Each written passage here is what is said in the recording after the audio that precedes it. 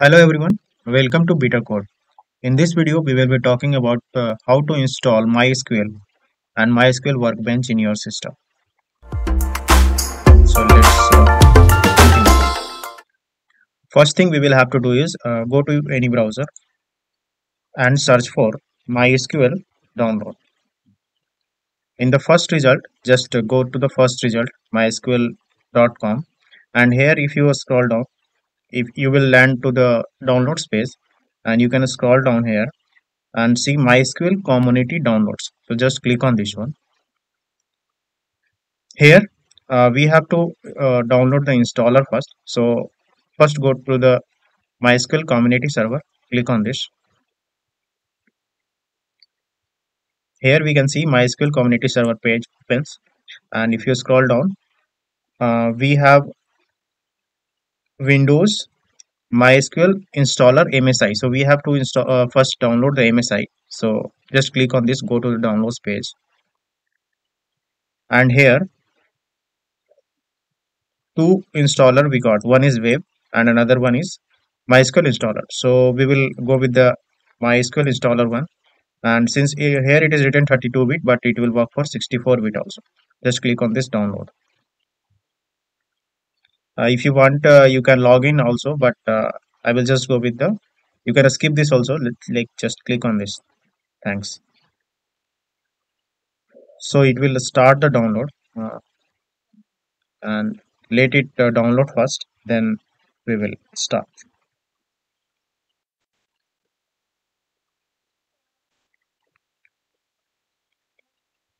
Now the download has been successful. So uh, just open the downloaded folder and you will get this installer. Just double click on this and it will start the installer for you.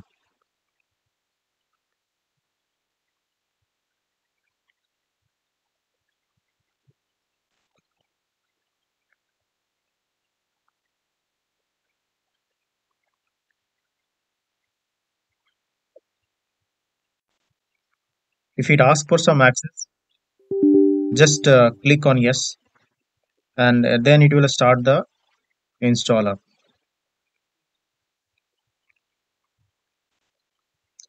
Now as you can see uh, the installer has been started and here uh, the first step is uh, select the setup type.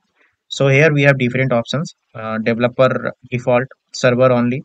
So uh, based on your requirement you can select like if you select developer it will provide these many services if you select some other it will provide these services. So it will uh, show in the right side. Uh, i will go with the default one like uh, developer default and click on next. Uh, when you click on next it will show the options uh, like uh, the following products have failing requirement. Actually these two are also required. So but like it is not compulsory. If you want you can install these two also and then come back here uh, but i will go with uh, since i i don't require these two things i will just click on next. Uh, just click on yes because it will uh, show some warning. And now it is uh, showing what things is ready to be installed. Just click on execute. So it will start installing one by one all the things. And once it is completed then we can proceed to the next step. So let it complete okay now you can see uh, all the installation is complete. Just click on next. And here it uh, says uh, all the things are ready to configure. Again click on next. Uh, keep everything as default only. Click on next. Again next. And here it asks for a root password.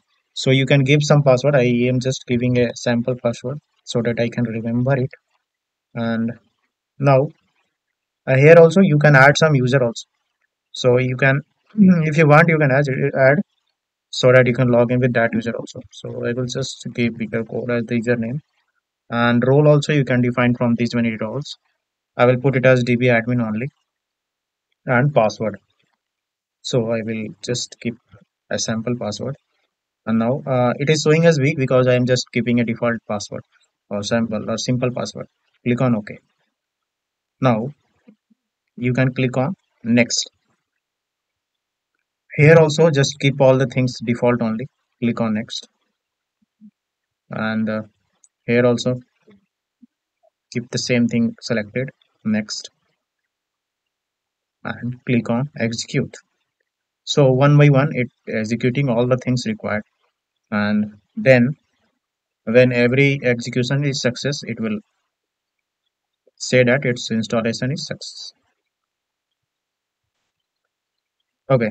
So now everything uh, uh, every configurations also got updated. Now we have an option to finish. So click on this. Finish. And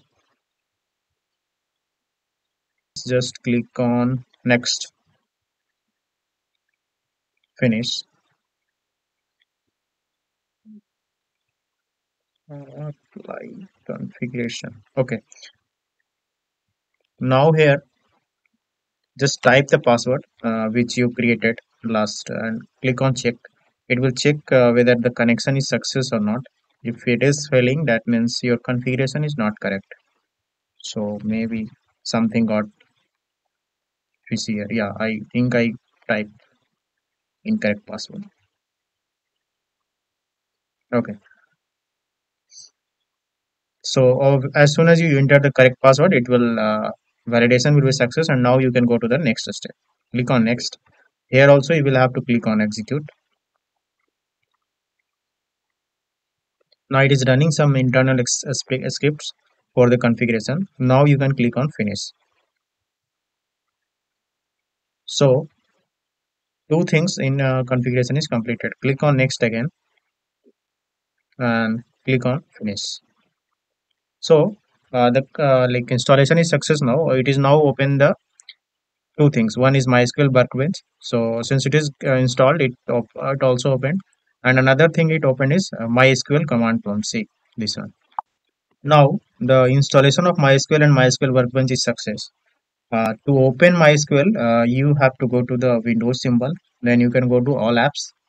And here scroll down and check for mysql so you can see uh, inside mysql we have everything here.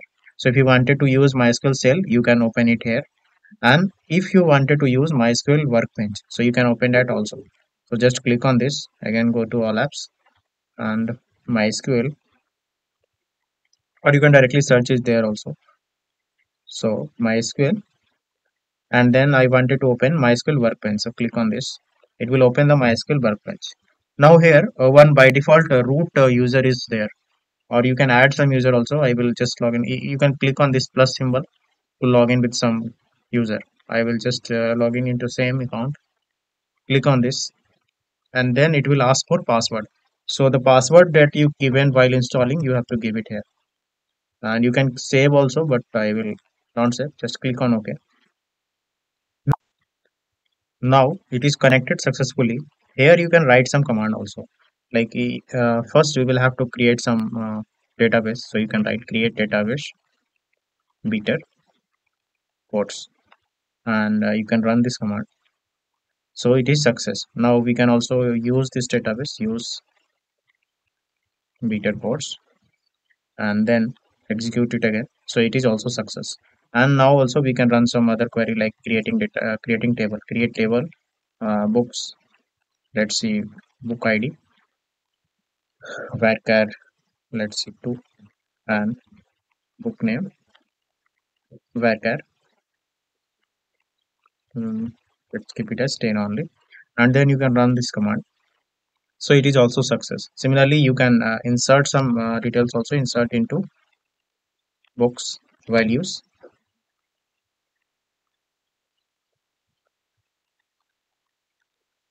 let's say 1301 and name is first book.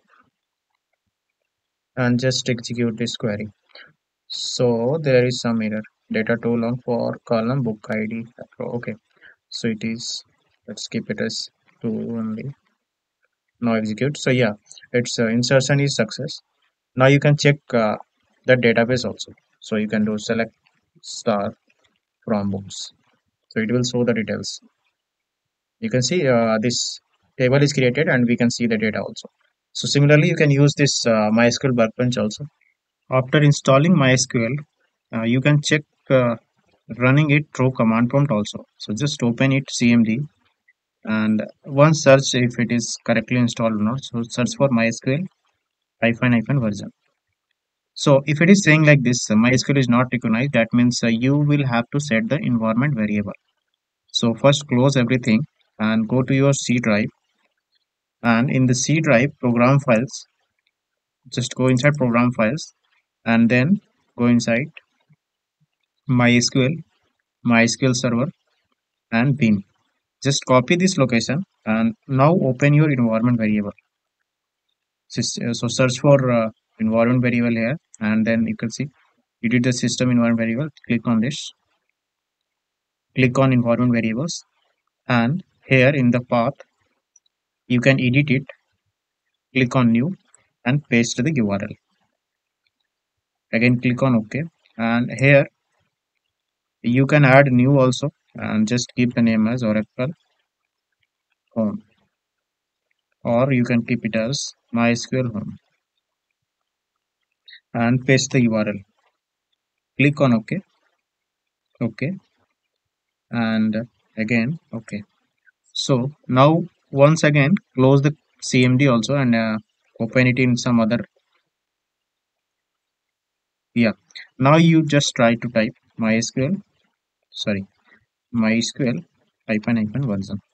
So it is now installed correctly and uh, it is showing the version here also.